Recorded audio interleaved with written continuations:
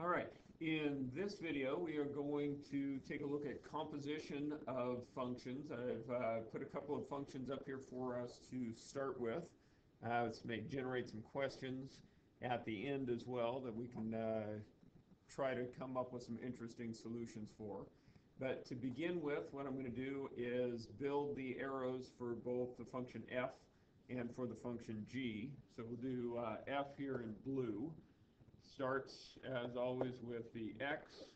First thing we need to do is square that and then multiply by 3 and then subtract 5. So that altogether is the arrow for, or the arrow diagram for f. We'll go ahead and do g of x in green. Start with the x there First thing I need is a sign change to make it a negative x. Then we will add one, uh, reciprocate, and multiply by 2, and that, those four arrows together constitute the function g. And this again, back here was our function f. So when we want to do the composition, I'm just going to show this a little bit differently here. I'm going to grab these things that are together there. I'm going to drag this down, get my function g, and get all, all of that into a single piece. Um, basically, all that's happening here, if they want uh, f of g of x, then it says the first thing that happens in f of g of x, I start with the x and I run it through the function g, and that would give me this first. And then I take that whole g of x, the output from the g of x, and run it into the f. So my f arrow comes and attaches right here at the end. The x is no longer at the beginning of that. And so right now I'm looking at f of g of x. And I can start with x down at this end and do the things that it says to do. So take the x, change the sign, add 1, reciprocate, multiply by 2. So that's going to give me a 2 over 1 minus x. That whole thing gets squared multiplied by 3, and I subtract 5 from that. So this part right here should be f of g of x. And if I want to do g of f of x then, okay, not a significantly different thing. Let's get this up out of our way here. If I want to do the g of f of x, then all that means is the arrow diagram for f is going to happen first, and then the arrow diagram from g is going to happen after that. And got a little x there at the beginning, and start over with x at the very front here, and I do what the arrows say to do. So the x gets squared, multiplied by 3, subtract 5. I change the sign on that whole thing and add 1, and then reciprocate and multiply by 2. So a little bit of simplifying I can do in the denominator uh, as a negative 3x squared plus 5 plus 1, so negative 3x squared plus 6 in the denominator, and that is g of f of x.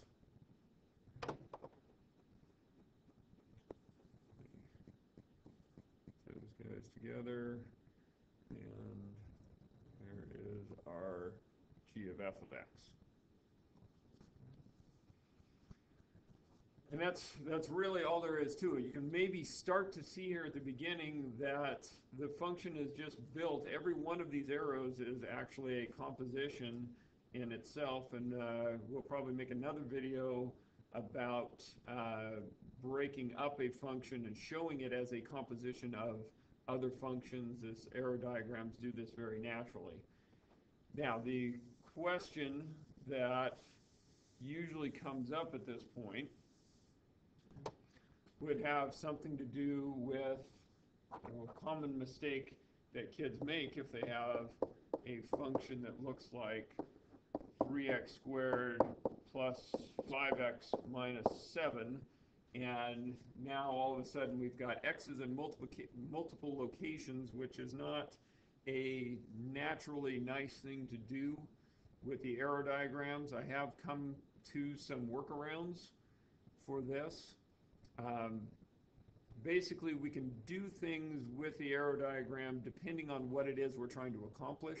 If it's composition that we're trying to do, then we can actually make this work.